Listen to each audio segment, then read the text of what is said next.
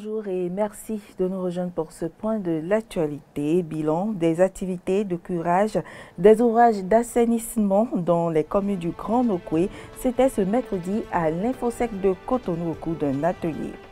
La rencontre des membres du réseau des parlementaires béninois pour l'identification prend fin ce jeudi des assises pour mieux s'approprier le contenu du projet IORI. Et puis, inégalité dans l'accès au vaccin contre la COVID-19. Les pays africains n'ont pas accès à suffisamment de doses pour faire face au virus.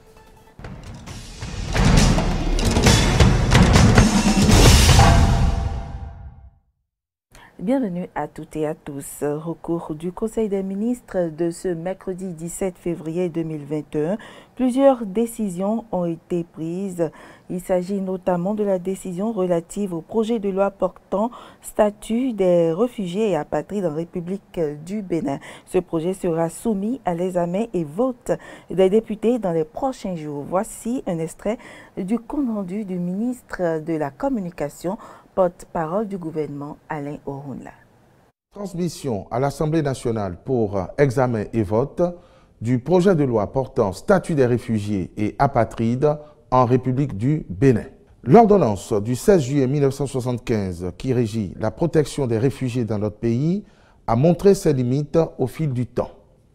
En effet, des questions spécifiques comme l'expulsion du réfugié, la cessation la révocation ou l'annulation du statut de réfugié, le traitement des demandes manifestement non fondées, les modalités de la reconnaissance de groupe n'y sont pas prises en charge. C'est pour corriger ces insuffisances et l'adapter aux évolutions actuelles qu'il est apparu pertinent de mettre la législation de notre pays en conformité avec les conventions internationales en vigueur en vue d'une meilleure protection des réfugiés. Par ailleurs, il convient de remédier à l'inexistence d'un cadre législatif spécifique sur l'apatridie en raison de la ratification par le Bénin de la Convention de 1954 relative au statut des apatrides et celle de 1961 portant réduction des cas d'apatridie. Ce faisant, notre pays disposera d'une législation visant à promouvoir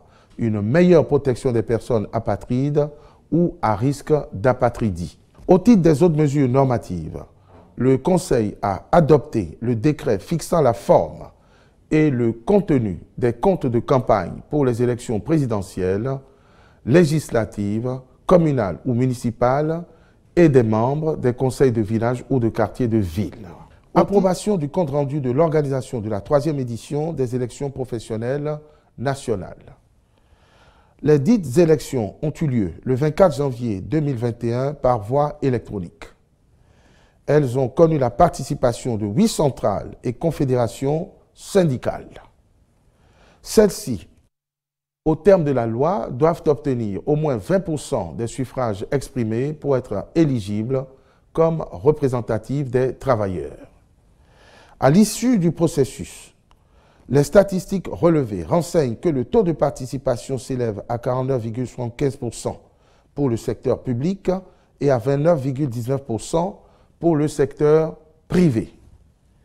Au niveau du secteur public, les organisations syndicales de travailleurs les plus représentatives sont la Confédération des syndicats des travailleurs du Bénin, CSTB, avec 31,11%, et la Confédération des organisations syndicales indépendantes du Bénin, COSI Bénin, avec 23,93%. En ce qui concerne le secteur privé, seule la Confédération des syndicats autonomes du Bénin, CSA Bénin, est représentative avec 48,07% des suffrages exprimés. Au regard de ces résultats, le gouvernement a instruit les ministres concernés par le dialogue social d'inviter ces trois organisations représentatives aux futures sessions. La première session ordinaire de l'année 2021 à la Haute Autorité de l'Audiovisuel et de la Communication a été ouverte ce mardi à l'entame de la session. Rémi Prosper Moriti, président de l'institution, a livré un discours dont je vous invite à suivre un extrait au micro de Cano François Humbelirinto et Romaric de Vouchy. L'ouverture de cette première session ordinaire de l'année 2021 intervient dans un contexte particulier, celui de l'élection présidentielle de 2021. Chers conseillers et chers collaborateurs, notre institution s'active pour que la couverture médiatique du processus électoral se déroule dans d'excellentes conditions. À cet effet, la HAC a pris la décision 021-002-HAC du 13 janvier 2021 portant réglementation de la période de pré-campagne. Elle a également initié une séance de vulgarisation de cette décision. La haute autorité de l'audiovisuel et de la communication a aussi évalué l'accès équitable des partis politiques, des associations et des citoyens aux médias de services publics. C'est l'occasion et le lieu pour nous d'encourager les acteurs de la presse à suivre les recommandations contenues dans la décision de pré-campagne.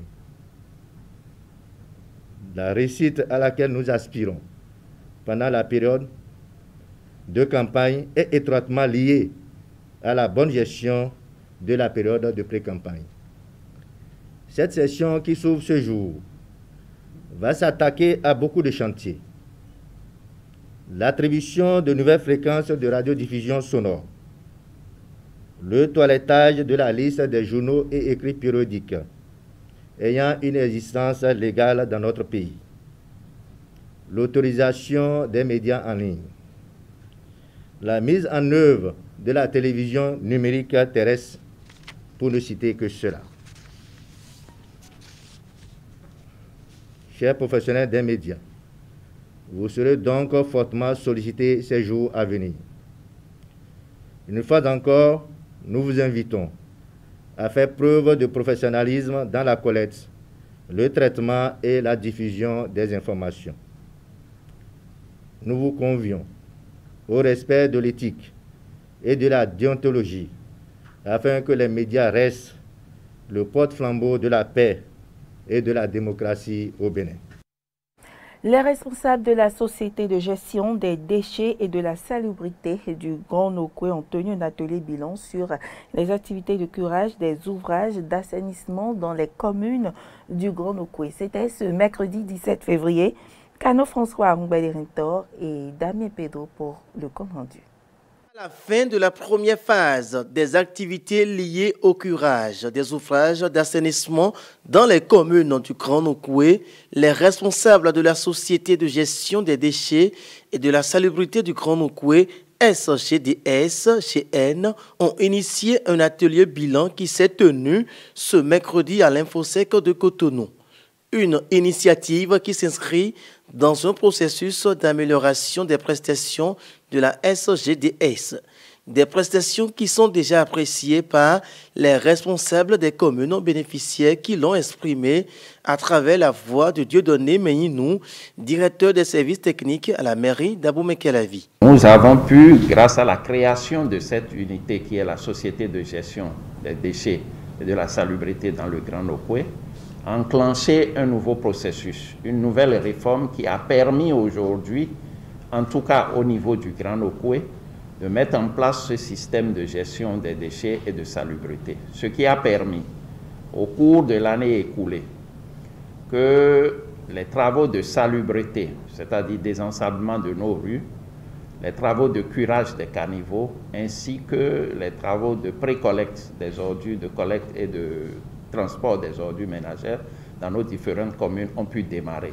Et je puis dire que malgré les difficultés de démarrage qu'ont connues donc ces activités, à la date d'aujourd'hui, c'est quand même une satisfaction de voir le niveau d'atteinte donc des objectifs euh, que se sont fixés les différents maires des différentes communes et le gouvernement en vue donc de faire de nos communes des villes propres, des villes où les infrastructures sont entretenues, des villes où quand même nos artères principales sont balayées, nettoyées et propres.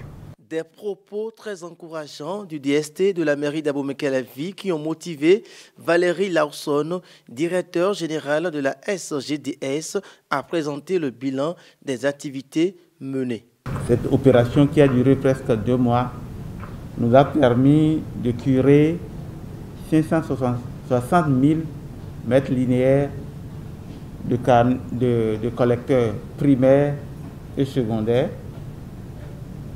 dont 47% euh, d'ouvrages à Cotonou, 14% à Porto Novo, 21% à Boumé-Calavi et 16% à Uda.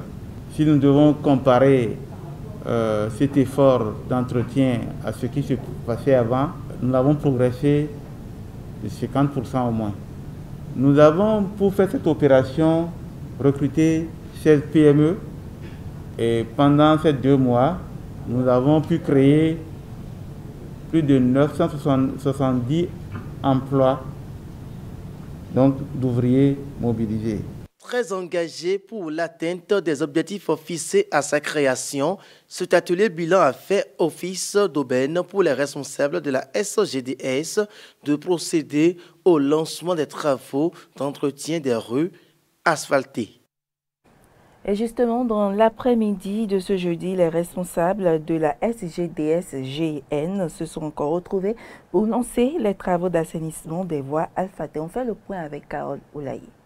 Faire le point des activités menées par les recrues des petites et moyennes entreprises intervenant dans la gestion des ouvrages d'assainissement en collaboration avec la Société de gestion des déchets et de salubrité du Grand Nokwe, SGDSGN, sur une durée d'un an dans les différentes villes des communes bénéficiaires. C'est là le principal objectif de cette assise. Environ 5 milliards de mètres carrés de superficie de chaque localité ont été assainis conformément aux missions qui ont été assignées aux recrues. Ces travaux ont permis de, créer environ 1500 emplois directs. Il y aura un rapport, je dirais, physique plus détaillé qui vous sera présenté mais un rapport de la gestion administrative et financière de vos différents contrats qui vous sera présenté. Ces deux rapports vont pouvoir faire ressortir euh, les forces et les faiblesses, aussi bien des prestations euh, que vous avez réalisées mais aussi de tout le dispositif euh, que nous avons conçu et déployé pendant ces 12 mois. Au cours de cette rencontre, les clauses du lancement des travaux d'assainissement des rues asphaltées dans les différentes communes du Bénin seront également prises en compte. Et comme vous l'avez si bien compris, depuis quelques semaines, nous sommes, nous, sommes revus pour sillonner un certain nombre de rues, les rues asphaltées. Donc, l'atelier d'aujourd'hui a un double objectif, faire le bilan, mais également lancer les travaux d'entretien des rues asphaltées et d'autres projets. Des évaluations à mi-parcours seront désormais régulières afin de résoudre au fur et à mesure les difficultés inhérentes à la bonne réalisation des travaux d'assainissement qui visent à maintenir les différentes villes du Bénin propres et belles. Rendons-nous à présent dans le mono. Les membres du réseau des parlementaires béninois pour l'identification se sont retrouvés à Grand Popo du 16 eh bien, au 18 février pour s'approprier le contenu du projet URI. C'est le premier, c'est le ministre des Affaires sociales qui a donné le top des travaux. Jonas Bouti pour le point.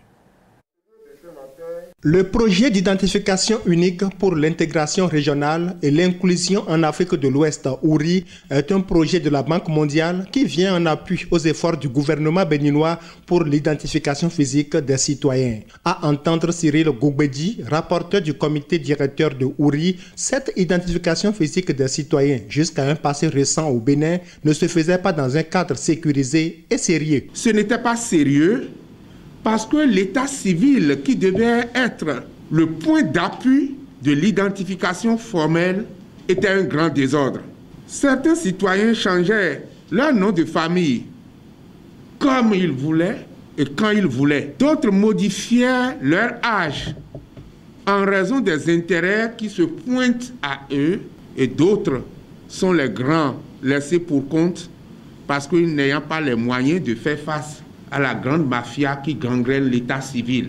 Et c'est pour mettre fin à cet état de choses qui ne garantit aucune sécurité que la huitième législature des parlementaires béninois s'est attelée à doter le Bénin des instruments juridiques pour y parvenir. D'où leur présence à cet atelier. Ces assises de grands propos viennent donc à point nommé.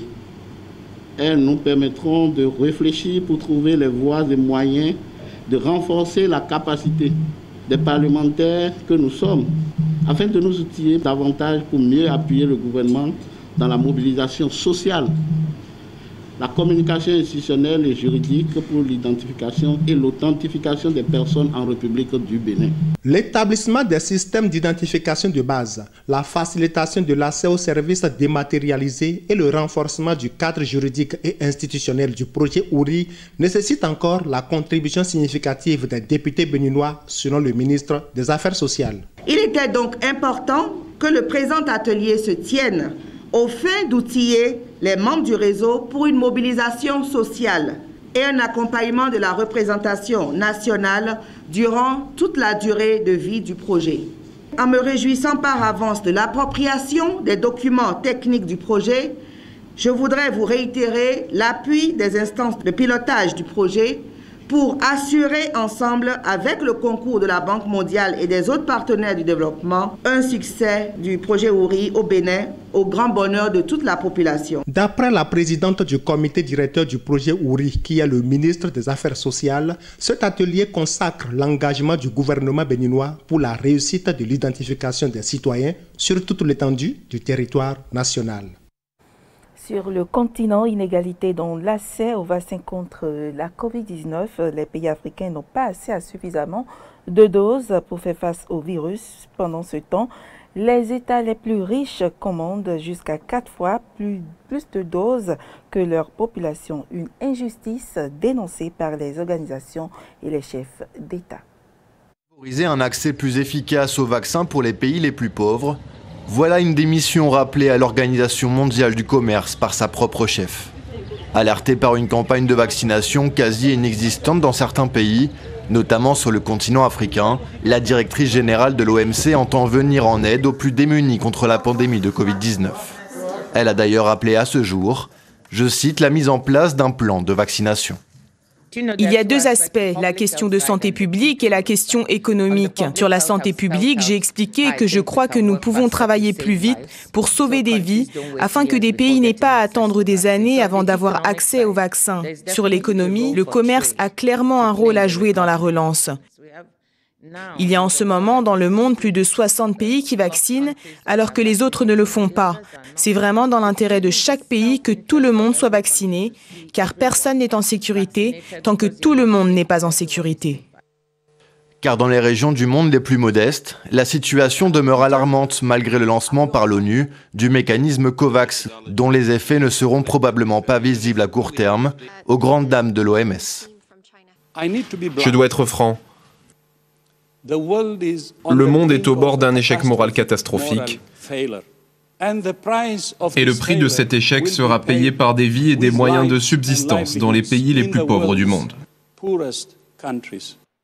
Lors du Forum économique mondial de Davos, le 27 janvier dernier, le président sud-africain avait fustigé tout nationalisme dans les stratégies d'acquisition du vaccin. Les pays riches de ce monde ont acheté de très grandes quantités de vaccins, certains quatre fois plus que ce dont ils ont besoin. Nous leur disons, mettez à disposition les doses excédentaires que vous avez commandées et mises de côté.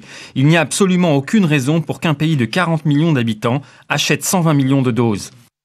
L'Organisation des Nations Unies s'inquiète elle aussi du fossé qui s'est élargi entre riches et pauvres. L'instance indiquait en décembre que 32 millions de personnes à travers le monde avaient basculé dans la classe de l'extrême pauvreté en 2020 en raison de la pandémie.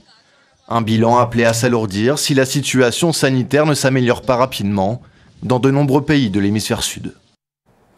Et ce sera tout pour ce journal, mesdames, messieurs. Merci pour l'attention et à demain.